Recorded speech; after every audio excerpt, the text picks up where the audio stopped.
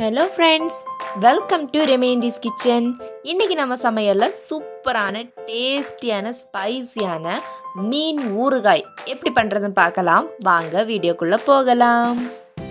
So இதுக்கு நான் வந்து சூர மீன் தான் எடுத்திருக்கேன். சூர மீனை பார்த்தீங்கன்னா இந்த மாதிரி குட்டி குட்டி பீசஸாக கட் பண்ணி எடுத்துக்கோங்க.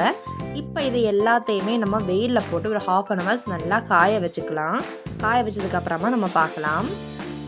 ஓகே ஃப்ரெண்ட்ஸ் நம்ம மீன் துணுக்கில் காய வச்சு எடுத்தாச்சு இப்போ இதுக்கான மசாலாஸும் ஆட் பண்ணிக்கலாம். ஒரு ஹாஃப் ஸ்பூன் அளவுக்கு மஞ்சள் தூள் ஆட் பண்ணிக்கோங்க. அப்புறமா ஒரு ஸ்பூன் மிளகாய் தூள் ஆட் பண்ணிக்கலாம். ஒரு ஸ்பூன் கரம் மசாலா.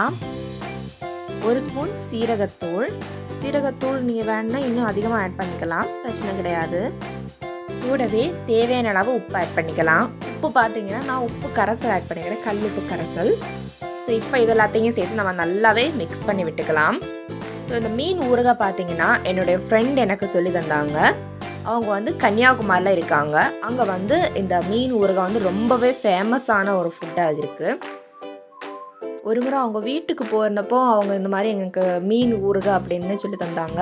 ரொம்ப நல்லா இருந்துச்சு ரொம்ப சூப்பராக இருந்துச்சு. அதான் நான் வீடியோவாக எடுத்து போட்டிருக்கேன்.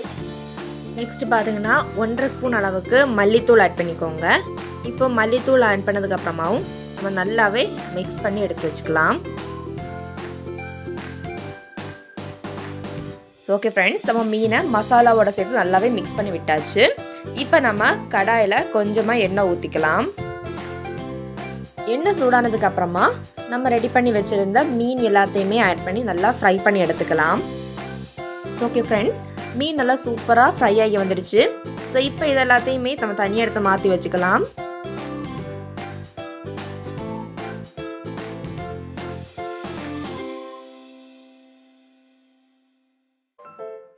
ஸோ ஃப்ரை பண்ண ஃபிஷ் எல்லாத்தையும் நம்ம தனியாக எடுத்து மாற்றி வச்சுக்கலாம். ஸோ இப்போ நம்ம கடாயில் கொஞ்சமாக எண்ணெய் ஊற்றிக்கலாம் எண்ணெய் சூடானதுக்கு அப்புறமா நம்ம ஒரு ஆறு ஸ்பூன் அளவுக்கு இஞ்சி பூண்டு பேஸ்ட் ஆட் பண்ணிக்கலாம். ஸோ இதில் பார்த்தீங்கன்னா முழுக்க முழுக்க மீன் ஊறுகாய்க்கு கம்ப்ளீட்டாகவே என்னது இந்த டேஸ்ட் கொடுக்கறது இந்த சீரகமும் அது மாதிரி இந்த இஞ்சி பூண்டு பேஸ்ட்டு சிக்ஸ் ஸ்பூன் இல்லைன்னா நீங்கள் அதிகமாகவும் ஆட் பண்ணிக்கலாம். ஒரு செவன் எயிட் ஸ்பூன் கூட ஆட் பண்ணிக்கலாம். ரொம்ப டேஸ்ட் கொடுக்குறது இந்த இஞ்சி பூண்டு பேஸ்ட் தான். ஸோ ஓகே இப்போ நம்ம இந்த நல்லாவே மிக்ஸ் பண்ணி விட்டுக்கலாம் இஞ்சி பூண்டு பேஸ்ட்டை எண்ணெயோட சேர்த்து இஞ்சி பூண்டு பேஸ்ட்டு நல்லா வதங்கணும். ஸோ இதுலேருந்து ஓரளவு ஒரு பாதி பதமாவது வந்துடணும் அப்படின்னா எண்ணெய் தனியாக பிரிஞ்சு வந்துடும் பேஸ்ட்டு தனியாகவே தனியாக வந்துடும் ஸோ அந்த மாதிரி இருக்கணும். ஸோ அது வரைக்கும் நம்ம நல்லாவே கிளற விட்டுட்டே இருக்கலாம். அடி பிடிக்காமல் பார்த்துக்கோங்க. பார்த்தீங்களா? ஸோ இந்த மாதிரி வந்துடணும். எண்ணெய் தனியாக பிரிஞ்சு வந்துடுச்சு நம்ம இஞ்சி பூண்டு பேஸ்ட் நிறையவே ஆட் பண்ணோம். அதுலேருந்து பாதி அளவு வந்திருக்கு. ஸோ இந்த மாதிரி ஸ்டேஜ் வந்ததும் நம்ம இதுக்கான மசாலாஸை ஆட் பண்ணிக்கலாம். ஒரு அரை ஸ்பூன் அளவுக்கு மஞ்சள் தூள் ஆட் பண்ணிக்கலாம். ஒரு ஸ்பூன் மிளகாய் தூள். ஒன்றரை ஸ்பூன் தனியா தூள் ஆட் பண்ணிக்கலாம். ஒரு ஸ்பூன் கரம் மசாலா கால் ஸ்பூன் நல்ல மிளகுத்தூள். இப்போ நம்ம இது எல்லாத்தையும் சேர்த்து நல்லாவே கிளறி விட்டுக்கலாம். பார்த்தீங்கன்னா ஒரு ரெண்டு நிமிஷம் போல் நல்லாவே கைவிடாமல் கிளறி விட்டுக்கிட்டே இருங்க. ஸ்டவ்வை மீடியம் ஃப்ளேம்லேயே வச்சுக்கோங்க. நல்லா கைவிடாமல் கிளறி விட்டுக்கிட்டே இருங்க. இதிலிருந்து ஒரு பாதி அளவு வந்துடணும் ஸோ அது வரைக்கும் நல்லாவே என்ன பண்ணிக்கலாம்? நம்ம கைவிடாமல் கிளறி விட்டுக்கிட்டே இருக்கலாம். பார்த்தீங்களா? ஒரு பாதி ஸ்டேஜ் அளவு வந்துருச்சு. ஸோ இப்போ நம்ம இந்த ஸ்டேஜில் வந்து ஒரு ஸ்பூன் அளவுக்கு ஜீரகம் ஆட் பண்ணிக்கலாம். ஜீரகம் அப்படின்னா ஜீரகத்தூள் ஆட் பண்ணிக்கலாம். ஸோ இப்போ இதெல்லாத்தையும் சேர்த்து மறுபடியும் நல்லாவே கிளறி விட்டுக்கலாம். சீரகம் ஆட் பண்ணி ஒரு நிமிஷம் போல் கிளறி விட்டுக்கோங்க. அப்புறமா நம்ம ரெடி பண்ணி வச்சுருந்த மீன் எல்லாத்தையுமே இதில் ஆட் பண்ணி நல்லாவே மிக்ஸ் பண்ணி விட்டுக்கலாம். இனி ஒரு ரெண்டு நிமிஷம் போல் இந்த மாதிரி கை விடாமல் கிளறி விட்டுக்கிட்டே இருங்க. இந்த மசாலா இந்த மீனோட சேர்த்து இன்னும் நல்லா மிக்ஸ் ஆகி வரணும். ஸோ நம்ம இதை மீனை வதக்கிட்டு இருக்கும்போதே அந்த கேப்பில் வந்து கொஞ்சமாக ஒரு டேபிள் ஸ்பூன் அளவுக்கு எண்ணெய் ஆட் பண்ணிக்கலாம்.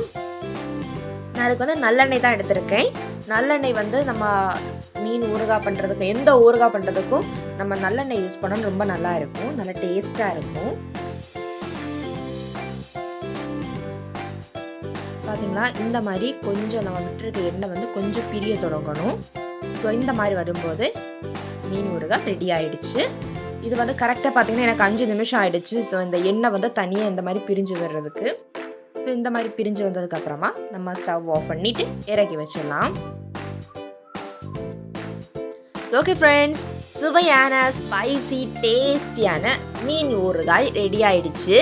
ஸோ இதை வந்து நான் ஒரே நாளில் எங்கள் வீட்டில் தீந்துடும் ஸோ அதுக்காக நான் ஒன் டே இது யூஸ்க்காக நான் வந்து மீன் ஊறுகாய் பண்ணியிருக்கேன். ஸோ அதனால நான் இதில் வந்து வினிகர் ஆட் பண்ணிக்கலை. ரெண்டு மூணு நாள் நம்ம வச்சு யூஸ் பண்ணுறதா இருந்தால் இதில் என்ன ஆட் பண்ணிக்கலாம்?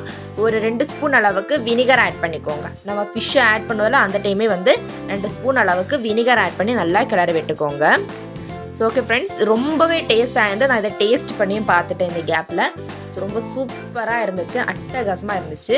ஸோ ஓகே ஃப்ரெண்ட்ஸ் நீங்கள் இது மாதிரி சுவையான மீன் ஊறுகாய் பண்ணி உங்கள் அனுபவத்தை எங்கள் கமெண்ட்டில் மறக்காமல் ஷேர் பண்ணுங்கள் அண்ட் இந்த வீடியோ உங்களுக்கு பிடித்திருந்தால் லைக் பண்ணுங்கள் மறக்காமல் நம்ம ரெமேந்திஸ் கிச்சனை சப்ஸ்கிரைப் பண்ணுங்கள் taste is the best bye bye